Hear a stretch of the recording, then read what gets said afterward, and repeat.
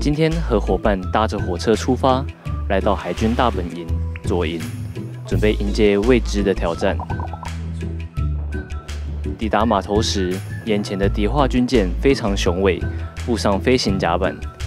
迎接我们的是张忠明舰长。登舰的第一堂课，救生衣穿着。在飞机上看过救生衣教学，但今天真的第一次把救生衣吹起来呢。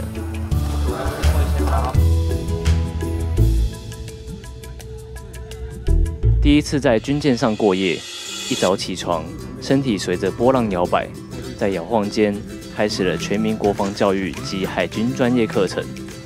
接着我们前往驾驶台，进行航海瞭望和舵手的训练观摩。如电影场景出现在我们面前的是一望无际的大海与随着我们航行的成功极舰。在兴奋之余，也学习如何使用电罗金和潜望式望远镜，并随着大家体验掌舵，坐上舵手位置，操着舵脚向左向右，结果舵脚打得太大，船身剧烈摇摆，惊动舰长的关切，才了解成为一名专业的海军是需要如此多的专业知识。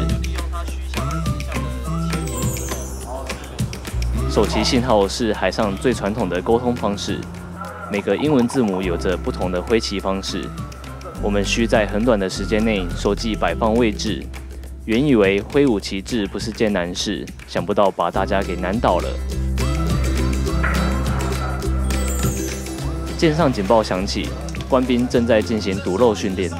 看着毒肉般的操演，我们对国军扎实训练感到敬佩。轮到我们体验时，大家七手八脚，流着汗水，用全身力气阻着漏洞，希望将每个步骤做到最好。看着教官扭腰，大喊“撇缆”，帅气地将包着铅球的缆线抛出，如彩虹般的抛物线，缆绳顺势地抛到飞行甲板的尾端，整个过程一气呵成。轮到我们时，模仿着教官甩着铅球，一个扭腰。结果没有想象中的容易，在几次练习后才能像教官一样帅气的抛出。身穿防火衣、头顶防火帽，是我们对消防队员的印象。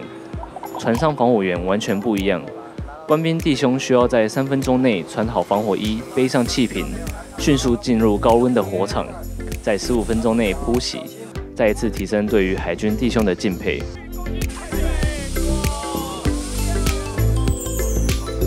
军舰靠岸，步下阶梯，我还是难以相信我们能踏上这极难领土——太平岛。放眼望去，日军时期留下来的旧栈道，围绕岛的海景，片片林荫，岸边海巡弟兄热情的欢迎，大家也开心的呐喊着：“太平岛，我来了！”我们第一项活动是植树活动，希望以后来到岛上的弟兄和参与研习的同学都能够享用我们种下的芒果。南沙医院把关着岛上的海巡弟兄们的健康，国际的人道救援更是不遗余力。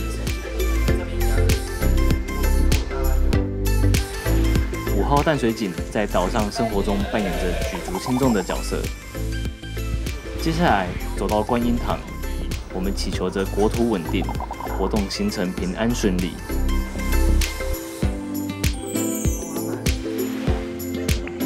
我们书写着明信片。将岛上的一切转为每一字每一句，分享给自己所爱的人，让更多人理解这座神秘的国境极难。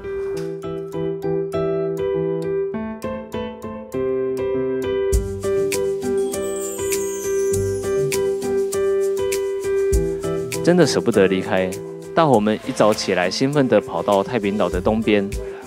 太阳光芒在刚破晓的那一刹那。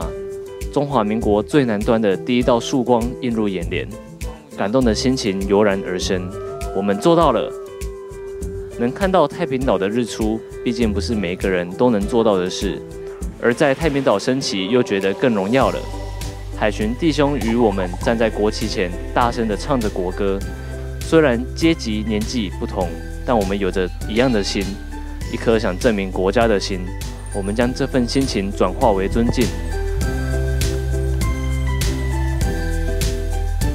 将花圈戴上海巡弟兄们的肩上，花圈不只是花圈，是一份敬重之意，一份感谢之情，更是代替本岛的人们对海巡弟兄说一句辛苦了。心里重复着国歌和美景，时间却已经到了离别的时候了。站在迪化军舰上，用力挥舞着国旗，像是给岛上的海巡弟兄加油打气。再见了，太平岛！在一天的旅程中，揭开岛上的神秘面纱，而我们在岛上踏下的足迹，却也留下了对于太平岛美丽的回忆。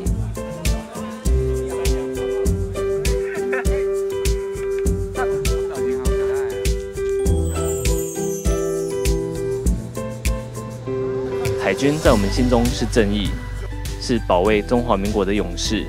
简单的九天课程，却让我们深深的了解到海军对于中华民国的重要性，更对于南海争议稳定性打了一剂强心针。尽管课程中大部分的时间都是笑声，却总带有一丝的严肃。在海军的肩膀，替国人们扛下了重担，不管是征询任务或是敦睦远航。对于中华民国的安全与国外交流、字里行间的辛苦，我们都感受得到。真的非常谢谢你们这一群默默守护大家的英雄们。